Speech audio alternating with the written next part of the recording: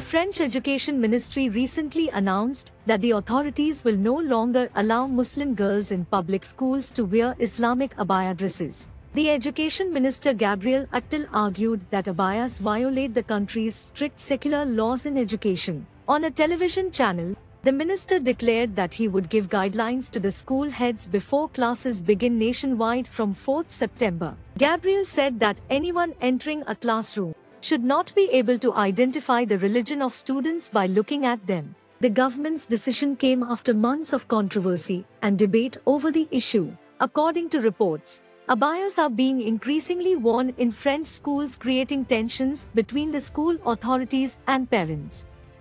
In France, female students have already been barred from wearing the Islamic headscarf.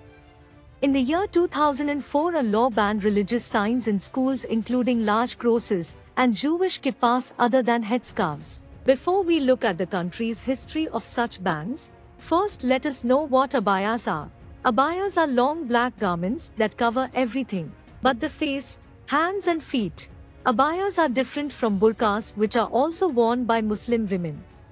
The abaya ban is in line with France's campaign against Islamic clothing. In 2010 France banned the full-face veiling in public provoking outrage among the Muslim population.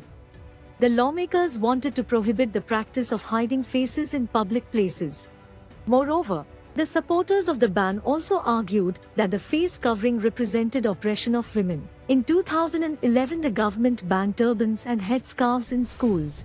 Five years later, the country witnessed the anti-Burkini decrees that prohibited Muslim women from wearing swimsuits that covered the body completely. In the year 2018 a UN committee said that France's niqab ban violated the human rights of Muslim women. The committee had called on France to review its law banning the garment. The committee was not convinced by the French government's argument that the prohibition of face covering was necessary and important from a security point of view.